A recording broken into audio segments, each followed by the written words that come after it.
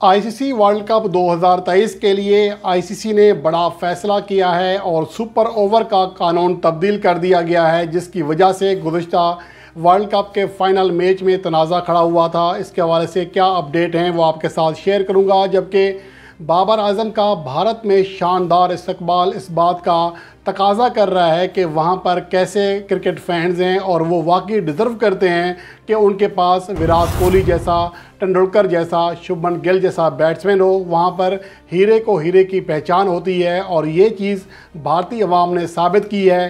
इसके ऊपर भी बात करेंगे क्योंकि उन्हें इतना प्रोटोकॉल दिया गया, अकेले बाबर आज़म को लेने के लिए जहाज़ अलग से आया और वहाँ पर भी स्टाफ उनके साथ सेल्फीज़ लेता रहा तो ये बहुत बड़ी चीज़ है एक ऐसे खिलाड़ी के लिए, जिसे कहा जाता है कि रवायती हरीफ मुल्क है, लेकिन उसके कप्तान को इतना प्रोटोकॉल दिया जा रहा है जितना शायद वो अपने कप्तान को भी ना देते हों। तो इसके हवाले से भी बात करेंगे और एशियन गेम्स क्रिकेट में पाकिस्तान और भारत की टीमें गुजशत मैच जीत कर सेमीफाइनल में पहुँच चुकी थी। अब उनके मद्दे मुकाबल कौन कौन सी टीमें आ रही हैं और क्या ये दोनों टीमें फाइनल मैच में मद्द मुकाबल होंगी, इसका भी हम जायज़ा लेते हैं। और इस रिपोर्ट का हम आगाज़ करते हैं आईसीसी वर्ल्ड कप 2023 के हवाले से, जिसमें आप कैप्टन डे मनाया गया। और कप्तान बाबर आज़म और रोहित शर्मा एक साथ, यानी कि पाकिस्तान और भारत के कप्तान एक साथ हाल में दाखिल हुए तो वहाँ पर तालियों के साथ उनका इस्तकबाल किया गया। और उससे पहले जो इस्तकबाल किया गया, पाकिस्तान टीम का, चाहे हैदराबाद में हो या अहमदाबाद में बाबर आज़म का इस्तकबाल किया हो किया गया हो तो ये शान शान था। और बाबर आज़म को भारत में जो जो उनको इस्तकबाल मिल रहा है, जो उनको मोहब्बत मिल रही है, उनको भी यकीन नहीं आ रहा होगा। उनको अभी तक ये गुमान में नहीं है कि हम पाकिस्तान में रह रहे हैं या फिर इंडिया में, बल्कि इंडिया में तो बाबर आज़म को शायद पाकिस्तान से भी ज़्यादा मोहब्बत मिल रही है।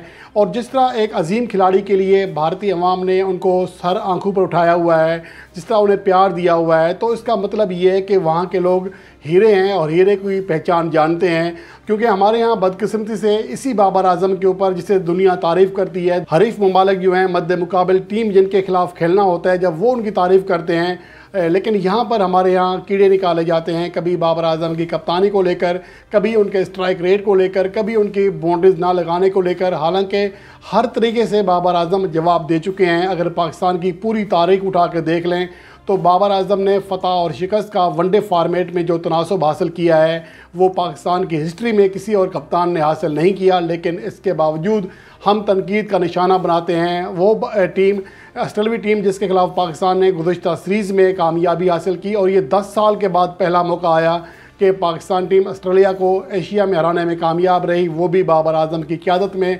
लेकिन हमें बाबर आज़म की कप्तानी पर एतराज़ है। बाबर आज़म की क्यादत में पाकिस्तान ने तारीख में पहली बार 200 से ज़्यादा रन का टी ट्वेंटी मैच में टारगेट चेस किया, लेकिन हमें बाबर आज़म की कप्तानी पे एतराज़ है, वो हमें अच्छे नहीं लगते। बाबर आज़म की क्यादत में पाकिस्तान के ओपनिंग जोड़ी रिजवान और बाबर आज़म ने तन तनहा 200 से ज़्यादा रन का टारगेट चेस किया। और 200 से ज़्यादा रन की शराकत कायम की, लेकिन हमें बाबर आज़म की सलाहियत के ऊपर शक है। और अगर इस तरह की चीज़ें हैं, देखें जहाँ पर गलती होती है तो हम भी नोट करते हैं और बाबर आज़म की तनकीद करते हैं। वो कोई मुकदस गाय नहीं है कि हम उनके ऊपर बात ना कर सकें, लेकिन जो चीज़ गैर ज़रूरी होती है, रियलिटी नहीं होती है, उसके बावजूद तनकीद की जाती है। अगर आप बताएँ कि आज भी बाबर आज़म के अलावा अगर सरफराज अहमद को बतौर कप्तान मीडिया का कुछ ग्रुप पेश करता है तो क्या सरफराज अहमद ठीक है? हम मानते हैं कि उसके दौर में पाकिस्तान की जो टीम है टी ट्वेंटी में ख़ास तौर पर नंबर वन रही। लेकिन उसमें सरफराज अहमद का ख़ुद कितना किरदार था और उसके अलावा उसी दौर में पाकिस्तान टीम वनडे फॉर्मेट में नवे नंबर पर चली गई थी और उसके अलावा पाकिस्तान की टेस्ट रैंकिंग सात से नीचे चली गई थी। लेकिन इसके बावजूद अगर मौजूदा वक्त में देखा जाए तो पाकिस्तान टीम तीनों फॉर्मेट्स में टॉप फाइव टीमों में शामिल है और पाकिस्तान टीम जिस तरह आगे बढ़ रही है तीनों फॉर्मेट्स में इसकी मिसाल नहीं मिलती है। और अब बाबर आज़म जो जा रहे वर्ल्ड कप शुरू कर रहे हैं, ये पाकिस्तान की तारीख में पहला मौका है कि पाकिस्तान का कोई बैटर आलमी नंबर वन वनडे बैटर के तौर पर वर्ल्ड कप मुहिम का आगाज़ कर रहा है। तो ये पाकिस्तान के लिए बहुत बड़ा एजाज़ है।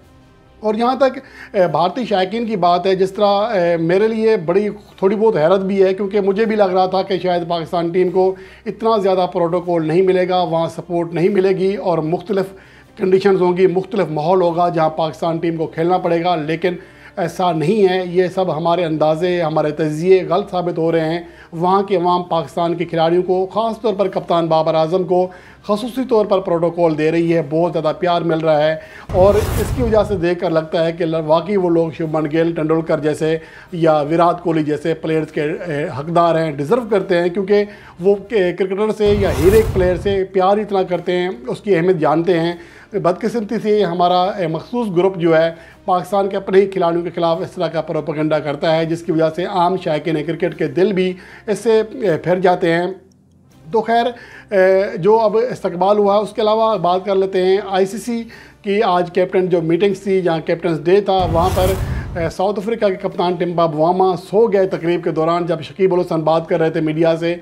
और लगता है ऐसा है कि क्योंकि टिम्बा बुआमा ने वार्म अप मैचेस नहीं खेले थे, कोई ख़ानदानी काम था, उनको चले गए थे, जिसकी वजह से वो दस्तियाब नहीं थे। हो सकता है कि लंबी फ़्लाइट लेकर आया हूँ और वहाँ पर उनकी नींद पूरी ना हुई हो, इसलिए उन्होंने दौरान तकरीब ही सोने का फ़ैसला कर लिया हो। लेकिन बहरहाल आज की जो तकरीब हुई है, ये किसी हद तक बेहतर ज़रूर है कैप्टन डेज़ के डेज़ के लिहाज से, क्योंकि यहाँ पर तमाम कप्तान यकजा हुए। हर किसी ने अपने ख्याल का इजहार किया।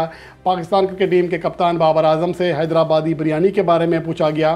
तो बाबर आज़म ने रवि शास्त्री को हँसते हुए जवाब दिया कि ये वो जवाब सवाल है जिसका जवाब हम सौ बार दे चुके हैं। और वैसे ही उनका कहा था कि कराची की बिरयानी और हैदराबाद की बिरयानी वाकई लजीज हैं, बहुत मज़ा आया।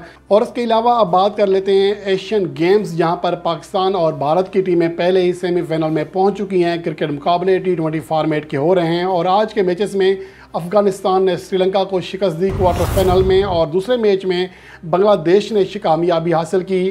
और जिसकी वजह से अब ये टीमें सेमीफाइनल में पहुँचने में कामयाब हो गई हैं। अब पाकिस्तान के मद्दे मुकाबल अफ़गानिस्तान की टीम आएगी। 6 अक्टूबर को सुबह 11 बजे ये मैच खेला जाएगा। चाइना से ये मैच बर रास्त दिखाता है और उसके अलावा दिखाया जाता है। और उसके अलावा बांग्लादेश और इंडिया का मैच होगा। पहला सेमीफाइनल जो कि सुबह छः बजे शुरू होगा। अगर इन दोनों मैचों में इस दिन पाकिस्तान और भारत की टीमें कामयाब रहती हैं तो वो फाइनल मैच में सात अक्टूबर को मद्दे मुकाबला आ सकती हैं एशियन गेम्स का टी ट्वेंटी फॉर्मेट के मैचेस हो रहे हैं। अब देखना ये है कि इसमें पाकिस्तान के खिलाड़ी इंडिया की मज़बूत और तगड़ी टीम का कैसे मुकाबला करते हैं। अगर फाइनल में जाते हैं, वैसे अफ़गानिस्तान के पास भी कम प्लेयर नहीं हैं, अच्छे खिलाड़ी हैं, जो कि पाकिस्तान को टफ़ टाइम दे सकते हैं सेमीफाइनल में। तो उसके अलावा, अब आखिर में बात कर लेते हैं आईसीसी का सुपर ओवर में जो कानून है वर्ल्ड कप में वो तब्दील कर दिया गया है। क्योंकि गुज्त जो वर्ल्ड कप 2019 खेला गया था, उसके फाइनल मैच में बहुत बड़ा तनाज़ा खड़ा हुआ था। उसकी वजह ये थी कि मैच जब टाई हो गया था, हालाँकि टाई भी बड़े अजीब अंदाज में हुआ था। गेंद जो है बेनस्टो के बैट को लग के बाउंड्री लाइन क्रॉस कर गई थी, जिसकी वजह से पाँच एक्स्ट्रा रन मिल गए इंग्लैंड को, और ये मैच टाई हो गया। और टाई के बाद जब सुपर ओवर हुआ तो सुपर ओवर भी टाई हो गया, जिसके बाद बाउंड्रीज़ के हिसाब से देखा गया बाउंड्रीज़ की जो तादाद है वो गिनी गई और इस एतबार से चूँकि इंग्लैंड ने ज़्यादा बाउंड्रीज़ लगाई थी, इसलिए इंग्लैंड को फातह करार दिया गया, जिसकी वजह से ना सिर्फ़ कीवी शायकीन क्रिकेट जो है, मायूस हुए, बल्कि इसके साथ साथ आलमी जो शायकीन हैं, जो न्यूट्रल शायकीन हैं, उन्हें भी बड़ी मायूसी हुई कि वर्ल्ड कप जैसा अहम तरीन इवेंट को इस तरह मैच बाउंड्रीज़ के खाते में नहीं डाला जा सकता, जिसके बाद आईसीसी को भी बहुत ज़्यादा तनकीद का सामना करना पड़ा था, लेकिन अब आईसीसी ने होश के नाखून लिए हैं और इस बार आईसीसी ने अपना जो कानून है, सुपर ओवर का, वो तब्दील कर दिया गया है। अब वर्ल्ड कप 2023 में अगर कोई मैच टाई होता है तो सुपर ओवर में मैच जाएगा और अगर सुपर ओवर भी टाई होता है तो पहले तो ये होता था कि फिर बाउंड्रीज काउंट की जाती थी, उससे पहले विकटें गिरने की तादाद काउंट की जाती थी। लेकिन अब ऐसा नहीं होगा। अब दोबारा सुपर ओवर होगा। जितनी तक फैसला नहीं आएगा, बेशक दस सुपर ओवर क्यों ना कराने पड़े। यहाँ पर सुपर ओवर के ऊपर सुपर ओवर होगा जब तक हतमी फैसला ना आ जाए। अब बाउंड्रीज़ की मदद से या विकटों की मदद से ये फैसला नहीं किया जाएगा कि कौन सी टीम फाते है। और उम्मीद है कि आईसीसी इस तरह सुपर ओवर के कानून के अलावा जो दीगर मुतनाज़ चीज़ें हैं, जैसा कि मन का रन आउट है, या इस तरह के जो कवानीन हैं, उनसे भी जान छुड़ाएगी और खेल को एक महफूज और एक मुतवाजन गेम बनाएगी। और उसके अलावा शफाफ तरीका जो होता है, जिसमें शायक ने क्रिकेट मुतमिन हूँ कि उनकी टीम अगर हारी है या जीती है तो वो मेरिट पर जीती है।